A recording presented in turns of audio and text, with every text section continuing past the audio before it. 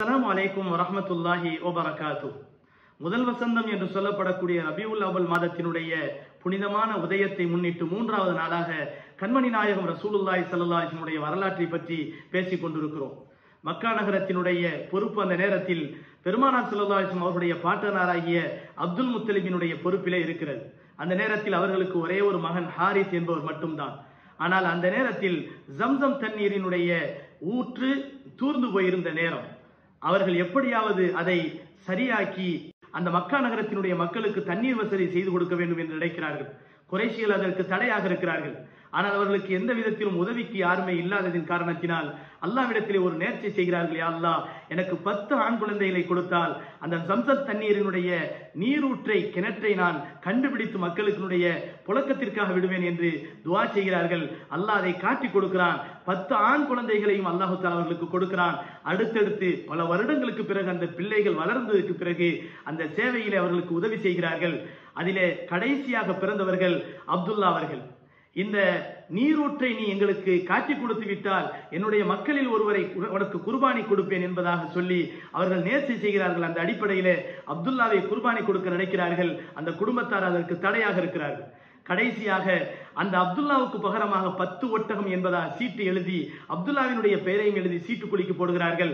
பத்து ஒட்டகம் இருபது ஒட்டகம் முப்பது ஒட்டகம் நாற்பது ஒட்டகம் இவ்வாறு நூறாவது ஒட்டகம் என்று சொல்லி எழுதி போடப்பட்ட சமயத்தில் தான் அப்துல்லாவினுடைய பெயர் வராமல் அங்கே நூறு ஒட்டகத்தினுடைய பெயர் வருகிறது. எனவே நூறு ஒட்டகத்தை அறுப்பதற்கு தயாராகி அறுக்கிறார்கள். ஜம்சம் தண்ணீரையும் கண்டுபிடித்து அதையும் மக்களுடைய புழக்கத்திற்காக விட்டு நிவர்த்தியை உண்டாக்குகிறார்கள். இந்த சமயத்தில் கண்மணி நாயகம் சல்லல்லா அலிஸ்லாம் அவர்கள் அந்த அப்துல்லா அதாவது குர்பானி கொடுப்பதற்கு உத்தரவிடப்பட்டு அவர்கள் காப்பாற்றப்பட்டார்களே அந்த மகனாகிய அழகு மிகுந்த அப்துல்லாவுக்கு மகனாகத்தான் கண்மணி நாயகம் சல்லல்லா அலிஸ்லாம் அவர்கள் பிறந்தார்கள். பெருமானா சல்லாஹனுடைய தந்தையின் பெயர் அப்துல்லா அவர்களுக்கு பட்ட பெயர் தபீஹ் என்று சொல்லப்படும். குர்பானி கொடுக்கப்பட்டவர் என்பதாக சொல்லப்பட்டார் இந்த ஆமினாவுக்கும் அப்துல்லா அவர்களுக்கும் பிறந்த குழந்தைதான் கண்மணி நாயகம் செல்லலாயிசம் அவர்கள். பெருமானார் செல்லலாயிசம் அவர்கள் பிறக்கின்ற சமயத்திலே பத்னா செய்யப்பட்டவர்களாக பிறந்தார்கள். குழந்தை பிறக்கின்ற போது தாயினுடைய தொப்புள் கொடி நீண்டிருக்கும் இல்லையா? அது துண்டிக்கப்பட்ட நிலையிலே அழகு மிகுந்தவர்களாக பிறந்தார்கள். பெருமானார் சல்லாசம் அவர்கள் பிறக்கின்ற போது பாரசீகத்திலே ஆயிரக்கணக்கான வருடங்கள் எரிந்து கொண்டிருந்த அந்த மஜூசிகளினுடைய நெருப்பு குண்டம் அணைந்து விட்டது. சல்லல்லாரிசம் அவர்கள் உலகத்திலே பிறந்தபோது கிஸ்ராவினுடைய ஆட்சி பீடத்திலே இருக்கக்கூடிய பதினான்கு டூம்கள் அந்த குப்பாக்கள் எல்லாம் உடைந்து சிதறி விழுந்தன. இதெல்லாம் நபி சல்லாஹினுடைய பிறப்பின் மூலமாக உருவாயின. இதை பார்க்கின்ற போது நபி அவர்கள் ஒரு அற்புதமானவர்கள் ஒரு சிறந்தவர்கள் என்பதை கண்டுகொள்ள முடிகிறது. பெருமானா சல்லாஹிம் அவர்கள் பிறக்கின்ற போது ஒரு மிகப்பெரிய ஒரு பிரகாசம் ஏற்பட்டது. அது ஷாம் தேசம் வரை இருந்தது என்பதாக சொல்லப்படுகிறது.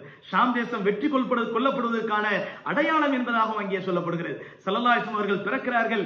நபியவர்களுடைய பிறப்புக்கு பிறகு அவர்களுக்கு முகம்மது என்பதாக பெயர் வையுங்கள் என்பதாக ஆமினா அம்மையாருடைய கனவிலே சொல்லப்படுகிறது. அகமது என்பதாக பெயர் வையுங்கள் என்பதாக அப்துல் முத்தவினுடைய கனவிலே சொல்லப்படுகிறது. நபியவர்களுக்கு முகம்மது என்றும் அகமது என்றும் பெயர் சொல்லப்பட்டிருக்கிறது. அருமையான பெருமக்களே சல்லல்லாஹம் அவர்கள் சொல்லுகிற போது நான் இப்ராஹிம் அலி இஸ்லாமுடைய துவாவாக இருக்கிறேன். ஈசா அலி இஸ்லாம் அவருடைய நற்செய்தி பஷாரத்தாக இருக்கிறேன் என்று சொல்லுவார்கள். ரசூலுல்லா இஸ்லாம் அவர்கள் பிறந்ததற்கு பிறகு ஆமினா அம்மையார் அவர்கள் அவருடைய தாயார் அவர்களுக்கு பால் கொடுத்தார்கள். அதன் பிறகு சுவைபா என்ற அம்மையார் ஹம்சா ரலியலானவர்களுக்கு பால் கொடுத்த அதே அம்மையார் சல்லல்லாஹு அவர்களுக்கு பால் கொடுத்தார்கள்.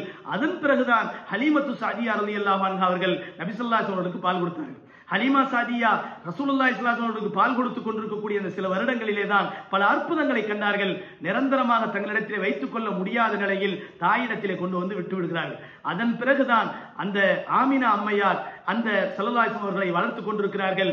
அதற்கு முன்பாகவே கண்மணி நாயகம் செல்லலாசனம் அவர்களுடைய தந்தை நபி அவர்கள் தாயினுடைய வயிற்றிலே ஆறு மாதமாக இருக்கும் போதே வஃத்தாகி விடுகிறார்கள்.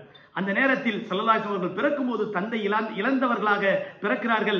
தாயாரும் சல்லல்லாஹனுடைய ஆறாவது வயதிலே இறந்து விடுகிறார்கள். அதன் பிறகு அவருடைய பாட்டனாராகிய அப்துல் முத்தலிப் அவர்கள் சல்லல்லாஹம் அவர்களை பொறுப்படுத்தி வளர்க்க ஆரம்பிக்கிறார்கள்.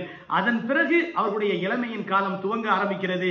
அப்படி அதன் பிறகு அந்த நேரத்திலே அவருடைய வளர்ச்சிகள் எப்படி இருந்தன வாழ்க்கை முறைகள் எப்படி இருந்தன என்ற விஷயங்களை அடுத்த தொடரில் நாம் பார்க்கலாம். அல்லாஹ் சுபஹானஹு இந்த வரலாற்றின் மூலமாக சிறந்த பாடங்களையும் படிப்பினைகளையும் நம் அனைவருக்கும் தந்த அருள் புரிவானாக.